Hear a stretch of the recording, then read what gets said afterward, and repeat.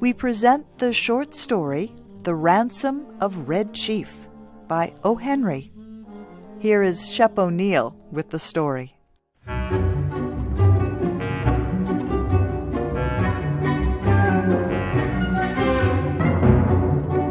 It looked like a good thing. But wait till I tell you. We were down south in Alabama, Bill Driscoll and myself, when this kidnapping idea struck us. There was a town down there as flat as a pancake and called Summit. Bill and I had about $600. We needed just $2,000 more for an illegal land deal in Illinois. We chose for our victim the only child of an influential citizen named Ebenezer Dorset. He was a boy of ten, with red hair. Bill and I thought that Ebenezer would pay a ransom of $2,000 to get his boy back, but wait till I tell you. About two miles from Summit was a little mountain covered with cedar trees. There was an opening on the back of the mountain. We stored our supplies in that cave. One night, we drove a horse and carriage past old Dorset's house. The boy was in the street throwing rocks at a cat on the opposite fence. Hey, little boy, says Bill, would you like to have a bag of candy and a nice ride? The boy hits Bill directly in the eye with a piece of rock. That boy put up a fight like a wild animal, but at last we got him down in the bottom of the carriage and drove away. We took him up to the cave. The boy had two large bird feathers stuck in his hair. He points a stick at me and says, Ha, paleface! Do you dare to enter the camp of Red Chief, the terror of the plains? He's all right now, says Bill, rolling up his pants and examining wounds on his legs. We're playing Indian. I'm old Hank, the trapper, Red Chief's captive. I'm going to be scalped at daybreak by Geronimo. That kid can kick hard. Red Chief, says I to the boy, would you like to go home? Ah, oh, what for? says he. I don't have any fun at home. I hate to go to school. I like to camp out. You won't take me back home again, will you? Not right away, says I. We'll stay here in the cave for a while. All right, says he. That'll be fine. I never had such fun in all my life.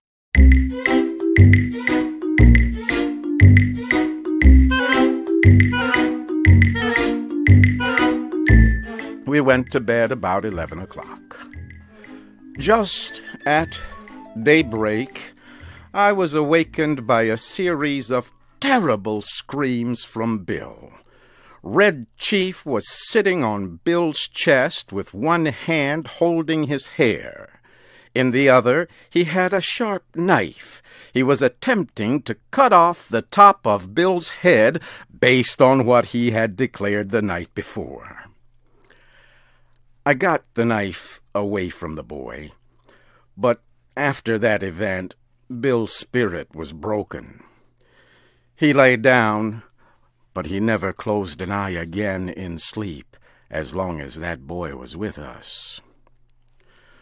Do you think anybody will pay out money to get a little imp like that back home? Bill asked. Sure, I said. A boy like that is just the kind that parents love. Now, you and the chief get up and make something to eat while I go up on the top of this mountain and look around. I climbed to the top of the mountain. Over toward Summit, I expected to see the men of the village searching the countryside, but all was peaceful. Perhaps, says I to myself, it has not yet been discovered that the wolves have taken the lamb from the fold. I went back down the mountain. When I got to the cave, I found Bill backed up against the side of it. He was breathing hard, with the boy threatening to strike him with a rock. He put a red hot potato down my back, explained Bill, and then crushed it with his foot. I hit his ears. Have you got a gun with you, Sam? I took the rock away from the boy and ended the argument. I'll fix you, says the boy to Bill. No man ever yet struck the Red Chief but what he got paid for it. You better be careful. After eating, the boy takes a leather object with strings tied around it from his clothes and goes outside the cave, unwinding it. Then we heard a kind of shout. It was Red Chief holding a sling in one hand. He moved it faster and faster around his head. Just then I heard a heavy sound and a deep breath from Bill. A rock, the size of an egg, had hit him just behind his left ear. Bill fell in the fire across the frying pan of hot water for washing the dishes. I pulled him out and poured cold water on his head for half an hour. Then I went out and caught that boy and shook him. If your behavior doesn't improve, says I, I'll take you straight home. Now, are you going to be good or not? I was only funnin', says he. I didn't mean to hurt old Hank, but what did he hit me for? I'll behave if you don't send me home. I thought it best to send a letter to old man Dorset that day, demanding the ransom and telling how it should be paid. The letter said, We have your boy hidden in a place far from Summit.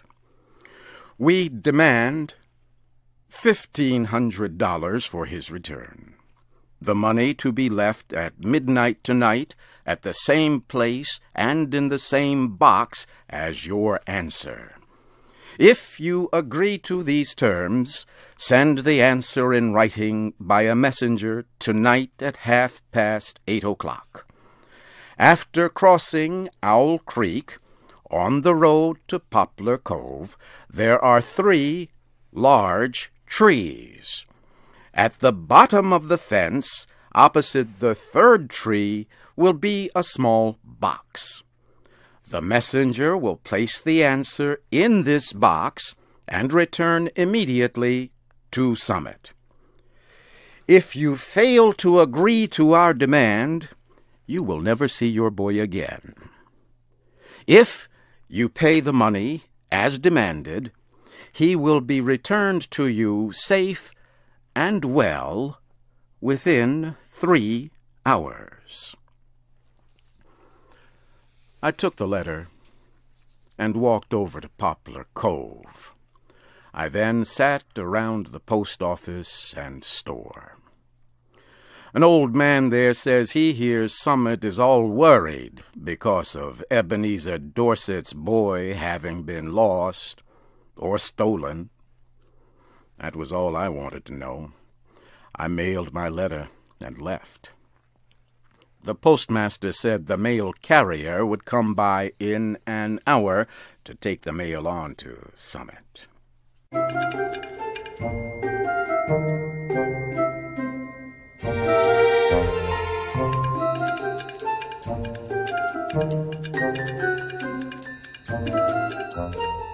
At half past eight, I was up in the third tree, waiting for the messenger to arrive. Exactly on time, a half grown boy rides up the road on a bicycle. He finds the box at the foot of the fence. He puts a folded piece of paper into it and leaves, turning back toward Summit. I slid down the tree, got the note, and was back at the cave in a half hour. I opened the note and read it to Bill. This is what it said. Gentlemen, I received your letter about the ransom you ask for the return of my son. I think you're a little high in your demands.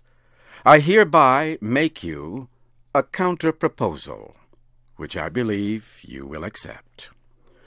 You bring Johnny home and pay me two hundred and fifty dollars and I agree to take him off your hands. You had better come at night, because the neighbors believe he is lost, and I could not be responsible for what they would do to anybody they saw bringing him back. Very respectfully, Ebenezer Dorset. Great pirates of Penzance, says I, of all the nerve! But I looked at Bill and stopped. He had the most appealing look in his eyes I ever saw on the face of a dumb or talking animal. Sam, says he, what's two hundred and fifty dollars after all? We've got the money. One more night of this boy will drive me crazy. I think Mr. Dorset is making us a good offer. You aren't going to let the chance go, are you? Tell you the truth, Bill, says I, this little lamb has got on my nerves, too. We'll take him home, pay the ransom, and make our getaway. We took him home that night. We got him to go by telling him that his father had bought him a gun, and we were going to hunt bears the next day.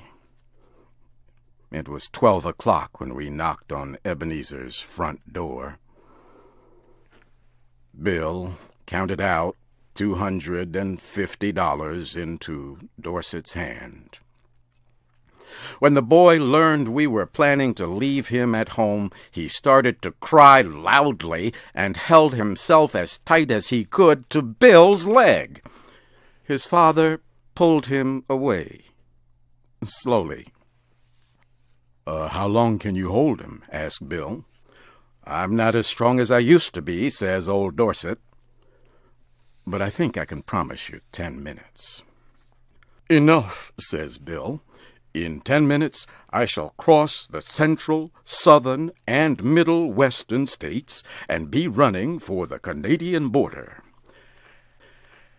And as dark as it was, and as fat as Bill was, and as good a runner as I am, he was a good mile and a half out of Summit before I could catch up with him.